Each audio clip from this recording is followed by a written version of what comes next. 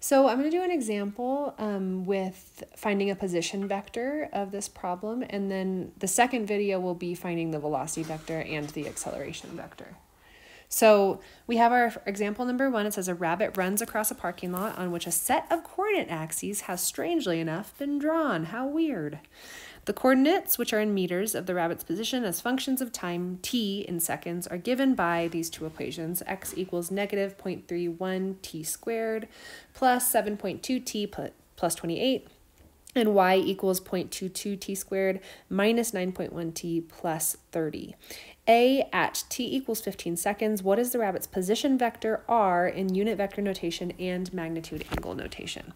So um, all we have to do really here is plug in 15 seconds for t, find what our x coordinate is and what our y coordinate is um, for that rabbit's position. So x is equal to negative 0.31 t, which is 15 seconds squared, plus 7.2 times 15 plus 28. So we end up getting for x, our position vector is 66.25 meters. And then same thing for y, we get 0.22 t, which is 15 squared, plus, not plus, minus, minus 9.1 t, 15, plus 30 we end up getting our y position at that point is a negative 57 meters. So if we want to put this in unit vector notation, it's pretty easy. We know that x is the i hat direction, that unit vector, and then y is the j hat unit vector. So we get r is equal to 66.25 meters i hat minus 57 meters j hat and that is our position in unit vector notation. And then finding magnitude angle notation is a little bit trickier just because we have to now, um, you know, add those two vectors together using the tip to tail method and then find our resultant vector using Pythagorean theorem and then find the angle as well using trigonometry. So here is our r vector. We sorry, not r vector, our x vector. We have 66.25 meters and then y is negative, so that's going to be downwards, 57 meters.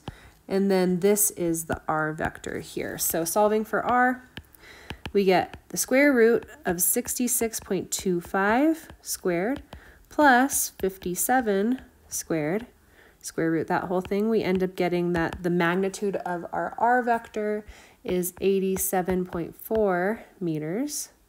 So there's our magnitude.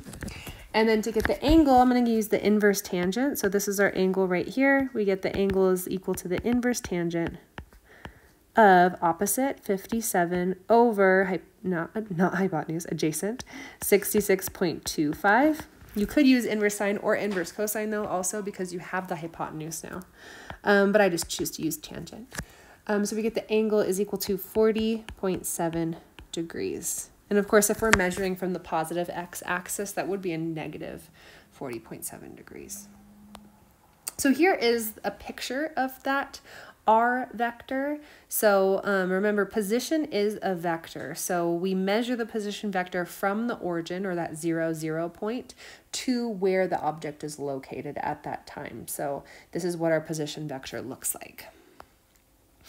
All right, so for part B, it says graph the rabbit's path for 0 to 25 seconds. Now, I've already drawn my axes on here.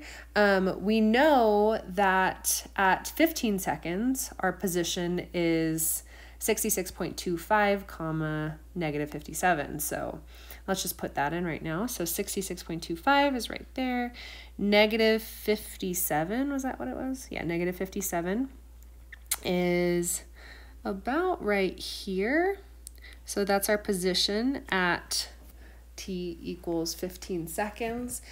And then what you want to do here is you want to just pick some points sometimes um, to plug numbers in to find where the rabbit is at those points according to those uh, position equations. Um, I would do like do it by fives or something like that. Today I'm just going to do a couple more just to kind of get the gist of how the rabbit is moving. So first and foremost, if we do zero, that's pretty easy because if we look at these equations right here, since we have time in all of these, uh, you know, multiplied by in all those parts of those equations, that would just cancel out at time equals zero. So we end up getting at time equals zero, the x coordinate is positive 28 and the y coordinate is positive 30. So we get positive 28 and positive 30, which is about right here for that time t equals zero. And then let's plug in, um, I don't know, let's plug in 10 and maybe 20. How about that? Let's see what happens at 10 and 20 sec seconds. So at 10 seconds, our x is equal to, let's erase this so I can actually see it now, um, a negative 0.31 t squared. So we get negative 0.31 times 10 squared. Um, and then plus 7.2 t, so plus 7.2 times 10, and then plus 28. So at 10 seconds, our x position, plugging this into my calculator, I get negative 0.31 times 100 plus 7.2 times 10 plus 28, and we get our x coordinate is 69 meters. And then for y, um, we have 0.22 t squared and then minus 9.1t, and then plus 30. So plugging in for y, we get 0.22 times 100 minus 9.1 times 100. Sorry, not 100, 10. And then plus 30. So we get a negative 39 for y meters. So at 10 seconds, we are here in a negative 39, which is almost down to 40. So right about here. Okay, and then let's do 20 seconds. Um, so x at 20 seconds is equal to a negative 0.31 times 20 squared plus 7.2 times 20 plus 28. So we get a negative 0.31 times 20 squared. Um, I hope I did 0.13, not 0.31. Make sure that you're checking your calculator so that you're actually doing it correctly. um, plus 7.2 times 20, and then plus 28. I got 48 for x. And then y is 0.22 times 20 squared minus 9.1 times 20 plus 30. So 0.22 times 20 squared minus 9.1 times 20 plus 30. I get a negative 64 meters. So this would be about here, and then negative 64 is down here. All right. Right about there.